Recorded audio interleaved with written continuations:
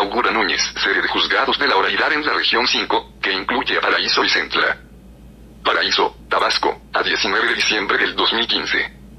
El gobernador Arturo Núñez Jiménez encabezó este sábado la inauguración del edificio sede de los juzgados de la oralidad del nuevo sistema penal acusatorio en la región 5, que comprende a Centla y Paraíso, con los que suman 15 los municipios incorporados a este esquema de justicia.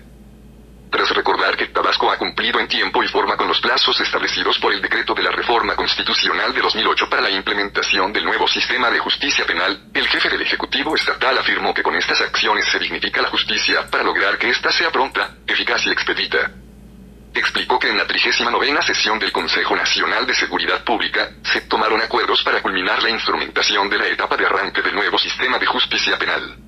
El reforzamiento de las acciones sobre todo en materia de capacitación, de equipamiento, de inversión en infraestructura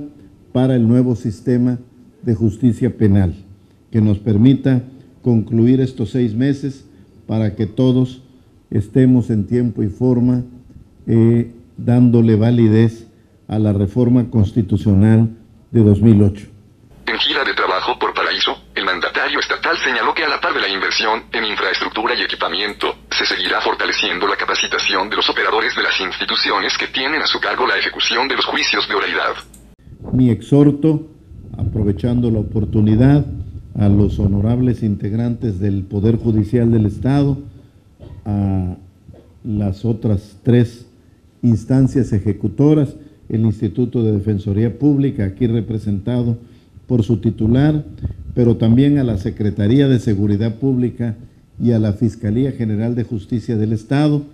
para que cumplamos en tiempo y forma cada una de las metas que tenemos en los distintos ámbitos de la aplicación del nuevo sistema de justicia penal. Núñez Jiménez recordó que 15 de los 17 municipios se encuentran incorporados al nuevo sistema de justicia penal y que para el 2016 se integrarán, dentro de los plazos establecidos, Cárdenas y Centro, cumpliendo así las metas de la reforma en la materia.